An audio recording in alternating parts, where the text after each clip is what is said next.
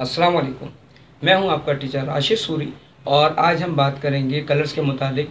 मेरे पास बहुत सारे स्टूडेंट्स ने कुछ मुझे मैसेजेस किए कि, सर, जो हम आर्ट वर्क बनाते हैं, वो कलर्स हमारा प्रिंटिंग में नहीं आता तो इसकी क्या वजूहत है? तो आज हम इसी पर बात करेंगे और इम्पोर्टेंट क्लास है। और आखिर तक देखिएगा ताकि एक आपके नॉलेज में इजाफा हो। एक्चुअली ये जो हमारे जूनियर ग्राफिक डिज़ाइनर्स होते हैं, इनके लिए बहुत सारे इश्यूज़ आते हैं। और तो मैंने सोचा कि चलिए आज पे मैं जो हूँ, ये एक छोटी सी वीडियो आप लोगों के लिए बना दूँ, ताकि जब भी आप लोग काम करें तो इन चीज़ों का ख्याल रखिए, ताकि एक अच्छी सी आप आउटपुट बना सकें। तो चलिए आगे, चलिए हम हम बात करते हैं कलर्स के मुतालिक कि कलर्स में ऐसी वेरिएशंस क्यों आती हैं कि आपका जो डिस्प्ले पे नज़र आता है, वो कुछ और होता है और प्रिंटिंग आपकी कुछ और आती है।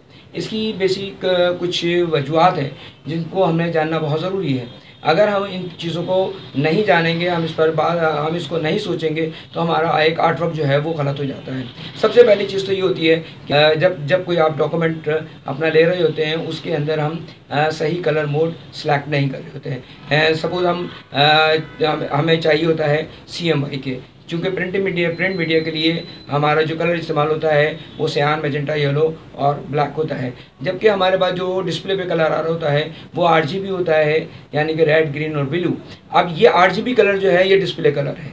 तो डिस्प्ले पर जो चीज़ नज़र आती है, वो प्रिंटिंग में नहीं आती है, क्योंकि डिस्प्ले पर डिस्प्ले कलर जो होते हैं आपके, या आर कलर्स जो होते हैं, वो ब्राइट कलर्स होते हैं। जबकि सी एम आई के कलर्स जो होते हैं, वो डल कलर होते हैं। तो जो मैं चीज़ एक डिस्प्ले पर नज़र आ रही होती है, वो प्रिंट इसलिए नहीं हो सकती है कि वो तो चमकती हुई नज़र आ रही है हमें। लेकिन जब वो प्रिंट मीडिया के लिए जाएगी आपको की, और वो आपने आर कलर्स में बना दिया, और उसको हम जब C M K colour mode पर कन्वर्ट कर रहे होते हैं तो उसमें कलर वेरिएशन आती हैं, क्योंकि सी एम आई के कलर्स जो होते हैं, वो डल कलर होते हैं। तो डल कलर होने की वजह से भी आपकी जो आपके जो कलर्स हैं, वो चेंज हो जाते हैं। दूसरी चीज़ ये है कि आर कलर चूँकि डिस्प्ले कलर्स हैं प्रिंटिंग कलर्स है नहीं तो जब ये आपका प्रोसेस जो है वो डिजिटल डिजिटल से प्रिंट मीडिया की तरफ़ जाता है तो वो ऑटोमेटिकली कलर वेरिएशन आ जाती हैं, वो उस कलर मोड को चेंज कर देता है।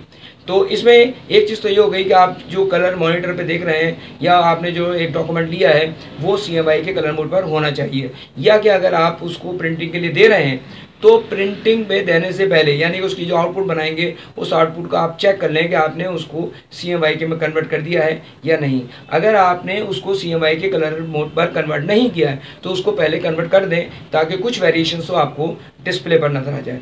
दूसरी एक अहम वजह ये होती है कि जब हम कोई कलर प्रिंट करने के लिए जा रहे होते हैं तो हम जो परसेंटेज डाल रहे होते हैं अपने आर्टवर्क में, वो वो परसेंटेज नहीं होती जो हम किसी इंक को चला रहे होते हैं, उस कंपनी की परसेंटेज होती है।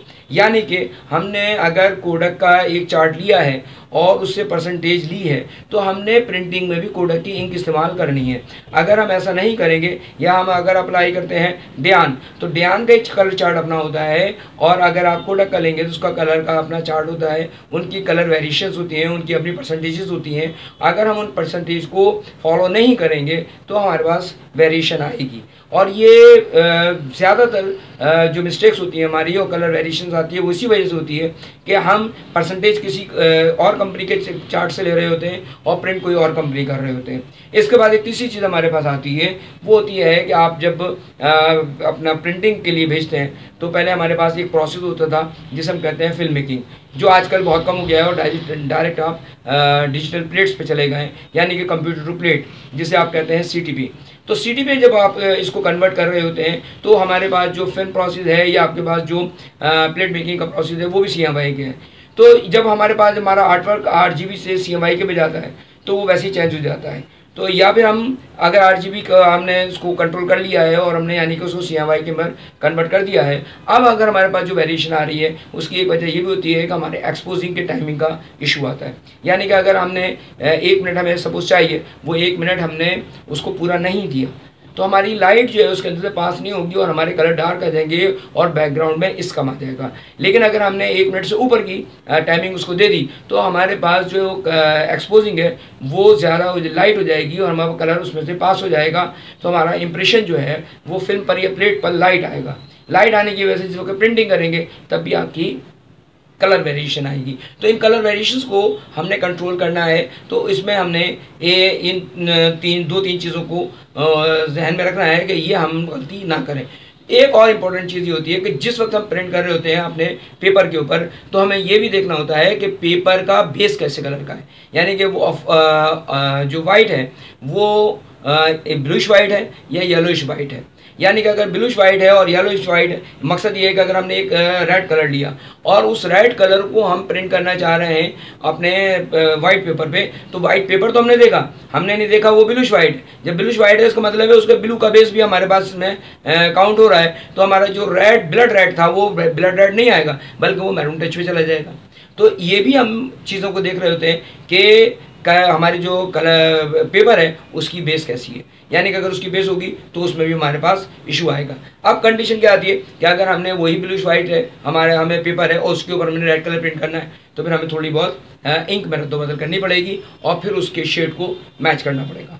एक और चीज़ हमारे पास होती है कि हमारे पास कुछ स्पॉट कलर्स में चीज़ें प्रिंट हो रही होती हैं। अब स्पॉट कलर जैसे आपके कंपनी के लोगोज होते हैं, उनका कलर स्पॉट होता है यानी कि उसमें वो वेरिएशन बिल्कुल भी नहीं चाहते। या हम कोई एक्स्ट्रा कलर इसके अंदर चला रहे होते हैं, जैसे बेस का कलर हम चेंज कर करके चला रहे हैं, कभी हम ब्लू कलर चला रहे हैं, कभी हम एक्वा ब्लू चला रहे हैं, कभी हम उसके अंदर जो है ना नेवी ब्लू चला रहे हैं, या कभी हम ब्राउन कलर चला रहे हैं। अब वो कलर हमें चूँकि एज इट इज़ चाहिए होता है तो हम उसको एक्स्ट्रा कलर में कन्वर्ट कर देंगे, यानी कि हम उसको स्पॉट कलर बना लेते हैं। तो हमारे पास जो हंड्रेड कलर चाहिए होते हैं, जैसे कंपनी के लोगोज वगैरह के तो उनके लिए हम स्पॉट कलर सेलेक्ट करते हैं। अगर हम उसको प्रोसेस कलर में चलाएँगे तो फिर हमारे पास कलर वेरिएशन आएगी। तो इन कलर वेरिएशन को कंट्रोल करने के लिए जो चीज़ें मैंने बताई इनको समझना बहुत ज़रूरी है और बहुत इंपॉर्टेंट चीज़ है। अगर आप इस पर काम नहीं करेंगे सही तरीके से, इसको आप अपने डॉक्यूमेंट को ओपन करते वक्त तो उसमें काम करने काम करते हुए, या आप जब इसको इसकी आउटपुट बना रहे हैं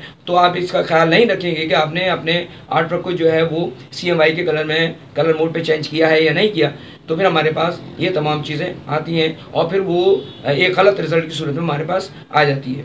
तो हमें चाहिए कि हम इन चीज़ों को जहन में रखें। एक और इंपॉर्टेंट चीज़ होती है कि हम जब डिस्प्ले पर अपने काम कर रहे होते हैं, यानी कि हम जब एलईडी पे काम कर रहे हैं तो उस एलईडी की हमने ब्राइटनेस ज़्यादा की हुई है, कम की हुई है कलर फास्ट किए हुए हैं, या हमने उसके जो कलर जो हैं वो डार्क किए हुए हैं तो चूँकि तो हमने अपनी मर्ज़ी के मुताबिक इनको एडजस्ट किया हुआ है तो फिर हम रिज़ल्ट वैसा नहीं दे सकते जो हम चाहते हैं। तो डिस्प्ले पे कलर कुछ और आता है लेकिन प्रिंटिंग के वक्त वो आपका कलर वो आएगा जो आपने इस्तेमाल किया है। तो हमें कलर चार्ट हमारे पास होना बहुत ज़रूरी है और कलर चार्ट के बगैर हम उसको नहीं चल सकते। अगर हमने कलर चार्ट पे से जो कलर उठाया है उसकी जो परसेंटेज दी है तो हम कलर चार्ट पर देख लेते हैं कि ये हमारे पास फला कंपनी की आ, कलर चार्ट है इसकी परसेंटेज ही है वो हम डाल देंगे चाहे हमें डिस्प्ले पर कुछ भी नज़र आए। रिज़ल्ट हमारे पास वो आएगा जो हमारे कलर चार्ट पर है। तो आज की क्लास मेरी एक छोटी सी क्लास थी, जो कलर्स के हवाले से मैंने आपको बताई जो कलर के हवाले से मैंने आपसे बात की। तो उम्मीद करता हूँ कि आपको मेरी ये क्लास पसंद आई होगी और पसंद आने की सूरत में मुझे कमेंट ज़रूर दीजिएगा। नेक्स्ट क्लास तक के लिए मुझे इजाज़त दीजिए। अल्लाह हाफिज़।